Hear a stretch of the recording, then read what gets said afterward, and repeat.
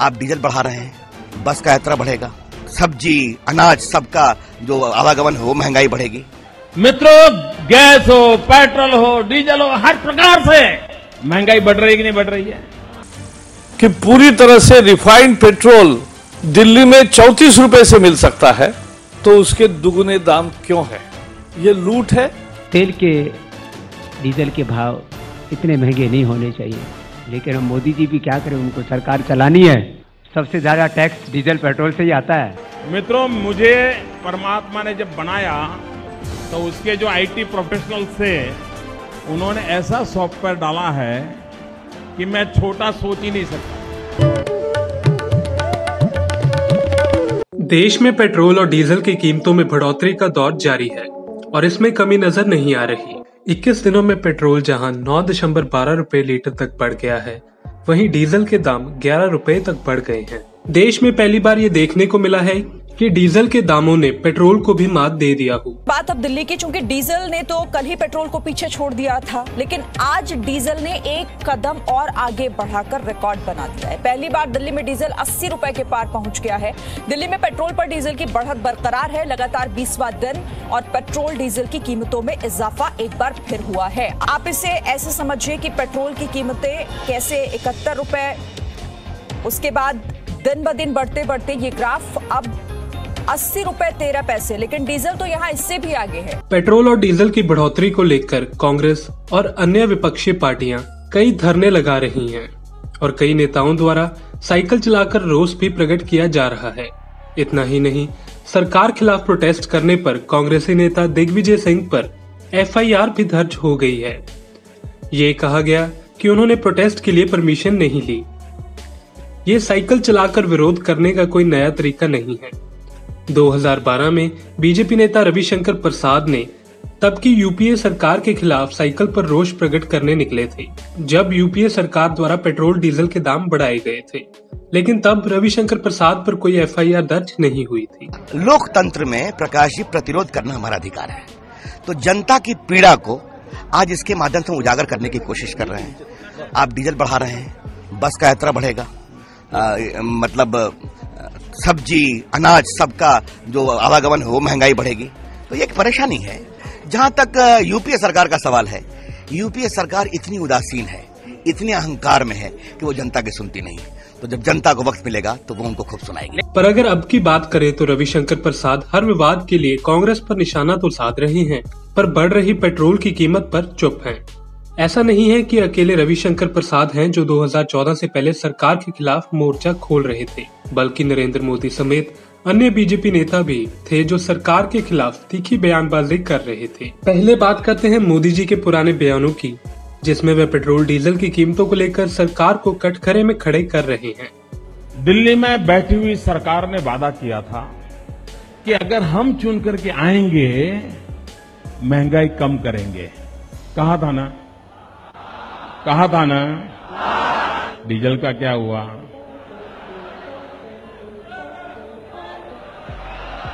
Petrol का क्या हुआ? मित्रों, गैस हो, पेट्रोल हो, डीजल हो, हर प्रकार से महँगाई बढ़ रही कि नहीं बढ़ रही है? रुपया अस्पताल में है। आईसीयू में पड़ा है। भरोसा इसीलिए तो टूट गया है। यही तो कारण है भरोसा टूट गया है। मित्रों, मुझे परमात्मा ने जब बनाया तो उसके जो आईटी प्रोफेशनल थे, उन्होंने ऐसा सॉफ्टवेयर डाला है कि मैं छोटा सोच ही नहीं सकता। इतना ही नहीं, रक्षा मंत्री राजनाथ सिंह भी 2014 से पहले यूपीए सरकार पर पेट्रोल, डीजल के बढ़ते दामों को लेकर निशाना साधते दिखे। और ले, लेकिन मैं यह मानता हूँ कि महँगाई यदि बढ़ रही है तो इस गवर्नमेंट की wrong economic policy wrong economic planning और करप्शन प्रमुख रूप से तीन कारण है जिन कारणों से महँगाई बढ़ रही है। हाल में पेट्रोल की कीमत जिस तरीके से कल बढ़ाई गई है मैं समझता हूँ कि एक वर्ष के अंदर यह नौ बार ग्यारह बार। हो गए एक वर्ष के अंदर ग्यारह बार पेट्रोल और डीजल की कीमतें जो है बढ़ी है। मैंने स्वाभाविक है पेट्रोल और डीजल की कीमत जब बढ़ती है तो जो दैनंदिन उपभोग की जो वस्तुएँ हैं यानी सेंसल कम्युनिटीज जिसे बोलते हैं उनकी भी कीमतें स्वाभाविक रूप से बढ़ती हैं और उसका खामियाजा सर्वाधिक यदि किसी को भुगतना पड़ता है तो जो मध्यम वर्गीय परिवार के लोग हैं उन्हें भुगतना पड़ता है जो गरीब हैं। मैंने उन, उनका तो जीना दूभर ही नहीं होता है बल्कि सचमुच उनके लिए तो वहीं केंद्रीय मंत्री प्रकाश जावड़ेकर भी तब की यूपीए सरकार के खिलाफ बोलते दिखाई दिए थे, पर अब एक भी बयान या प्रेस कॉन्फ्रेंस शायद उन्होंने पेट्रोल, डीजल के बढ़ते दामों पर नहीं की। जो पेट्रोल की दरों में वृद्धि की है सरकार ने, उसका कोई आधार नहीं है। उसी दिन अंतर्राष्ट्रीय बाज़ार में कीमतें कम हुई है। हम चैलेंज करते सरकार को। कि पूरी तरह से रिफाइंड पेट्रोल दिल्ली में चौतीस रुपए से मिल सकता है, मुंबई में छत्तीस रुपए से मिल सकता है तो उसके दुगुने दाम क्यों है? ये लूट है और तुरंत ये कीमतें जो बढ़ाई है, वो वापस लेनी चाहिए। क्योंकि पूरे देश भर में जिस तरह से प्रतिक्रिया आई है, मुझे लगता है यूपीए सरकार जनता से पूरी तरह से कट चुकी है, पूरी तरह से असंवेदनशील हुई है। ऐसी संवेदनहीन सरकार हमने कभी नहीं देखी कि लूट कर रही है घोटाले करके और दरों में बढ़ोतरी करके। केंद्रीय मंत्री नितिन गडकरी भी तब की यूपीए सरकार की कीमत में वृद्धि को लेकर आलोचना करते दिखाई देते थे। हम लोग मान रहे थे कि हमारे देश को एक अर्थशास्त्री प्रधानमंत्री मिला और जिसके कारण महँगाई कम होगी रोज़गार की निर्मित होगी देश में विकास होगा। पर वो तो हुआ ही नहीं। केवल भ्रष्टाचार बढ़ा। और भ्रष्टाचार भी एक कारण है, जिसके कारण महँगाई बढ़ी। सरकार का जब पेट्रोल, डीजल के भाव बढ़ते हैं तो उतना टैक्स भी बढ़ता है। और टैक्स में राहत देकर गरीबों को राहत दी जा सकती थी। पर सरकार का ये निर्णय जो है, ये गरीबों के ऊपर एक प्रकार से अन्याय करने वाला है। और मैं ये मानता हूँ कि लगातार बढ़ती हुई महँगाई, इन्फ्लेशन, ये आज इस कांग्रेस सरकार की, यूपीए सरकार की देन है। जब एनडीए और अटल बिहारी वाजपेयी जी के नेतृत्व में सरकार थी, तब ऐसी स्थिति नहीं थी। कांग्रेस ने गरीबी हटाओ का नारा दिया है, पर यह गरीबी हटाओ नहीं है तो गरीबों को बर्बाद करने वाली सरकार है, गरीबों को मिटाने वाली सरकार है। इतना ही नहीं 2014 की इलेक्शन से पहले इंडिया टीवी पर आपकी अदालत शो में बाबा रामदेव ने तो पेट्रोल डीजल की कीमत कम करने का दावा भी कर दिया था। अच्छा बच्चों, ये बताओ कि आपको पचहत्तर अस्सी रुपए का पेट्रोल चाहिए कि पैंतीस रुपए का? तो आपको जो पैंतीस रुपए का पेट्रोल दिलाएगा, उसको वोट दोगे या पचहत्तर अस्सी दिलाने वाले को? अच्छा आपको आज गैस सिलेंडर सब्सिडी के बावजूद सवा चार सौ का और सब्सिडी के बिना जो है बारह सौ रुपए का मिलता है। यदि आपको गैस का सिलेंडर तीन सौ या चार सौ रुपए का मिले, उसको वोट करोगे या बारह सौ रुपए का देने वाले को? देखो सरकार तो ये बनाएँगे आप थोड़ी बनाएँगे हम थोड़ी बनाएँगे। पर 2018 में एक इंटरव्यू में उनसे जब पेट्रोल डीजल की बढ़ती कीमतों को लेकर सवाल किया तब उनका जवाब क्या था?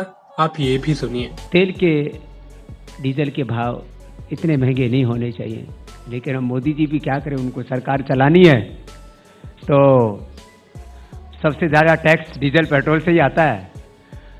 तो, तो कोई ऐसी उनको दूसरी वैकल्पिक व्यवस्था सोच तो रहे हूँ कि जो है दूसरी जगह से पैसा मिल जाए तो क्रूड ऑयल के रेट के अकॉर्डिंग यदि सच में आज भी बात हो तो पैंतीस चालीस रुपए डीजल पेट्रोल उपलब्ध कराया जा सकता है। ये मतलब ये तो क्रूड ऑयल और उसका प्रोसेसिंग और सब जोड़ लो आप ट्रांसपोर्टेशन मिल जाएगा। लेकिन आ, सरकारी खजाना भी खाली ना हो जाए कहीं सरकार जो है, वो डेफिसिट में ना चली जाए, इसलिए उन्होंने टैक्स लगाया हुआ है, हटा दे तो मिल जाएगा। अगर अंतर्राष्ट्रीय बाज़ार में एक बैरल क्रूड ऑयल की कीमत की बात करें तो एक आंकड़े के मुताबिक 22 जून तक इंडियन करेंसी में लगभग तीन हज़ार के आसपास इसका रेट था। इस हिसाब से तकरीबन एक लीटर बीस रुपए के आसपास हुआ। दिल्ली में पेट्रोल डीजल की कीमत का अंदाज़ा लगाए तो केंद्र सरकार इसमें तैतीस रूपए लीटर एक्साइज ड्यूटी और रोड सेस लेती है। इसके ऊपर राज्य सरकार द्वारा अठारह रूपए तक वैट लगाया जाता है। कुल मिलाकर देखें तो लगभग 54 रुपीस तक पेट्रोल डीजल पर टैक्स के रूप में लगाया जाता है। इस सबसे केंद्र सरकार को कितना फ़ायदा होता है, आप ये देखिए। 2019-20 के आंकड़े बताते हैं कि तेल पर एक्साइज ड्यूटी से दो लाख तेईस हज़ार करोड़ रुपए जनता की जेब से केंद्र सरकार के खजाने में गए।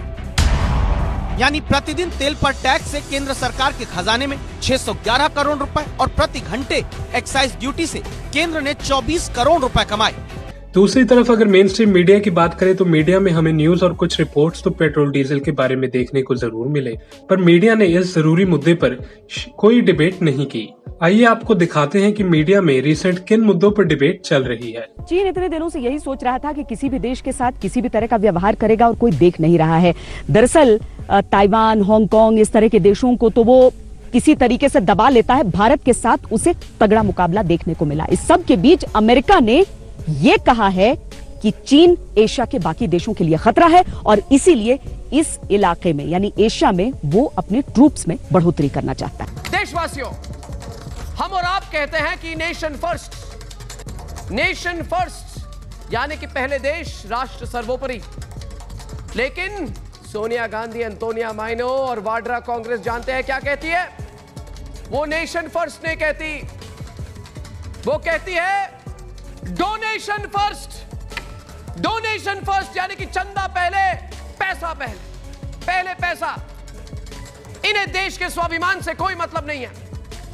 इनको सिर्फ़ लूट के माल से मतलब है। हम यही उम्मीद करेंगे कि मीडिया खोलकर जनता के हक में खड़ा हो और पेट्रोल डीजल की बढ़ रही कीमतों को लेकर सरकार से सवाल करे और बढ़ती महँगाई से होने वाली परेशानियों को सरकार के सामने लाए और इस पर सरकार से सवाल भी करे। Bureau report Punjab today TV. If you like our channel, please subscribe and to get notifications about news, please click the bell icon.